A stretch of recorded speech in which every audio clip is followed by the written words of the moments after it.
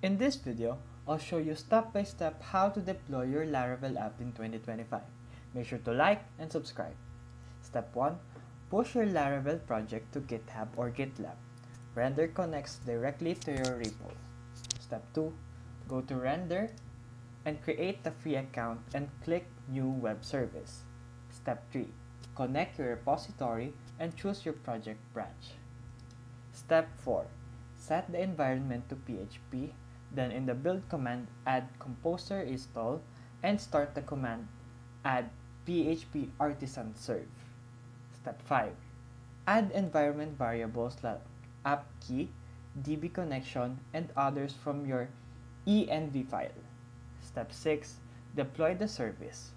Render will build and launch your Laravel app automatically.